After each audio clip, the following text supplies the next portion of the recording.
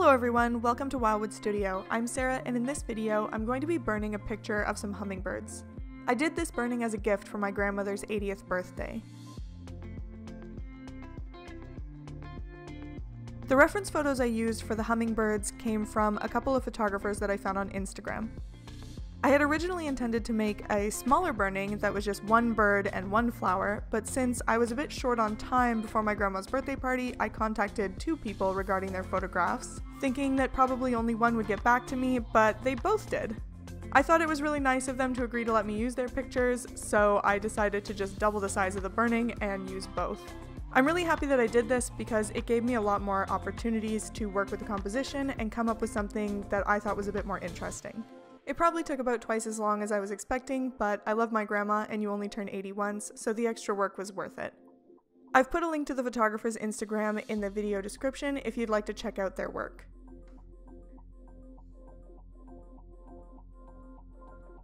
For this burning, I'm using my Razertip SSD10 wood burner.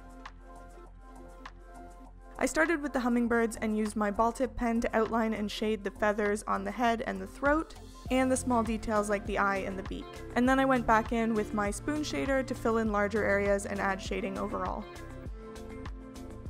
I've gotten some comments asking me to post videos in real time, so I've added some more slow clips in this video, but those are still sped up a bit.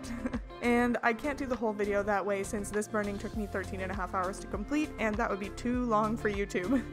I do hope it's helpful though to be able to see what my hand is doing in closer to real time, even if it's just a few clips.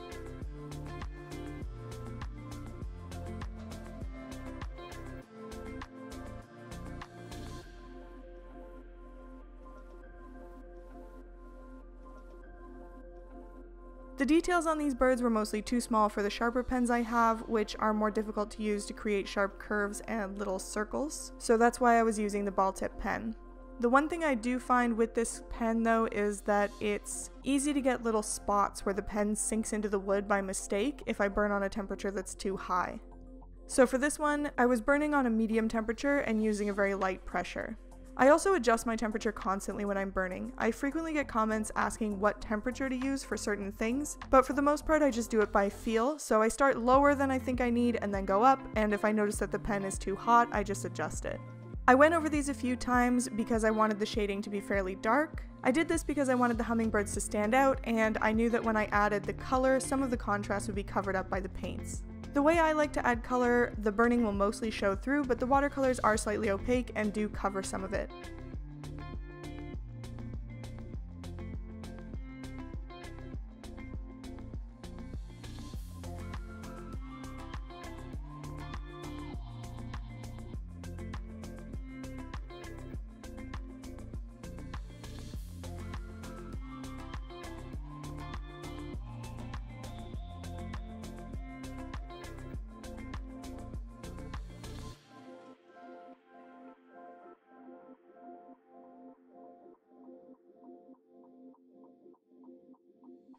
When I was putting this burning together, I wanted the hummingbirds to have a background, so I added these hibiscus flowers. I looked up what sorts of flowers attract hummingbirds, and then I picked these because I thought they were pretty. I burned and shaded these almost entirely with my spoon shader pen, with the exception being the ends of the stamens. I use my ball tip pen for these since they have lots of little circles and details. I always prefer burning little detailed areas over larger, smoother areas because it's a lot easier to hide mistakes in tiny details, so these flowers were definitely the more difficult part of this burning for me. I went over them all once, and then I had to go back in and darken them all because I had been too nervous and gone too light the first time.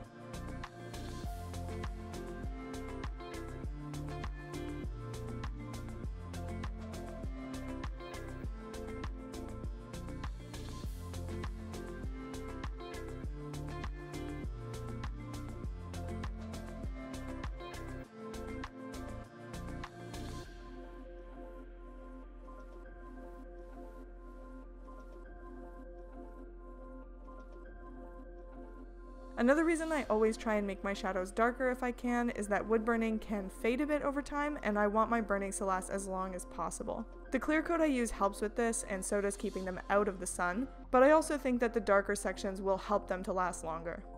These flowers were from three separate reference photos, and I just overlapped them in a way I thought worked well for the composition, but I don't think it's too obvious that they're from different gardens. And overall, this was my favorite composition from the many, many layouts that I tried.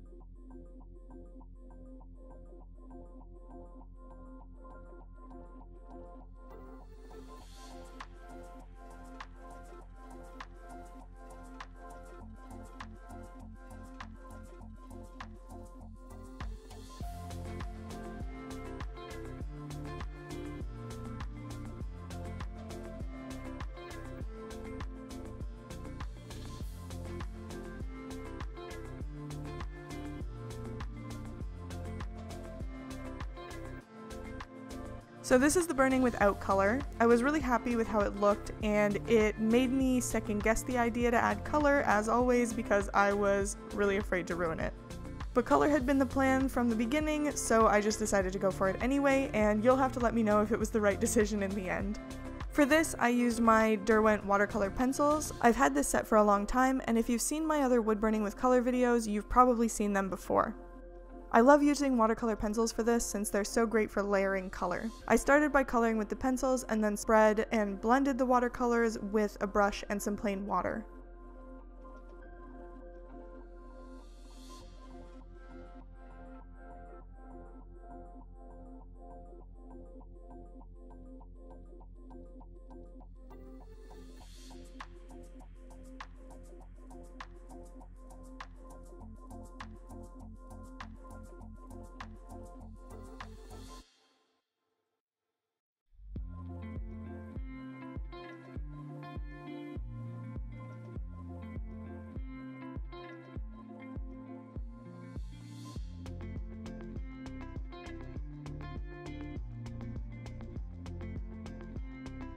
For the birds, I left lots of their chest without any color. I like to leave exposed wood in the light areas as much as possible and use the whites only for highlights.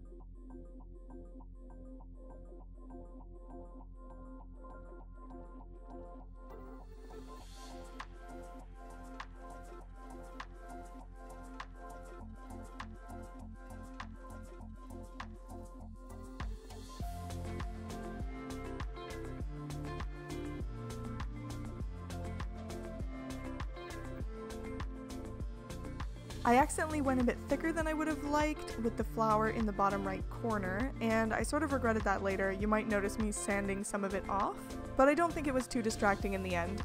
For the other two, I tried to leave more space blank or very lightly painted, since I like the color to complement the burn shading rather than cover it up.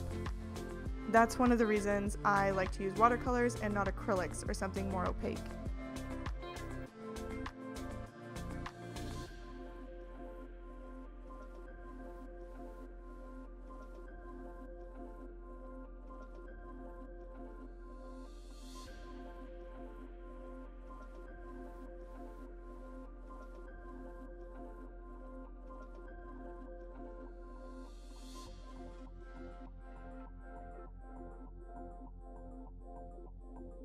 Here's a picture of the final burning with the color. As always, please let me know what you think in the comments, and if you'd like to see more of my work, you can check out my Facebook page or follow me on Instagram. Also, please make sure to like this video if you haven't already, and subscribe to my channel so you don't miss all my future art videos. Thanks for watching, and I'll see you next time.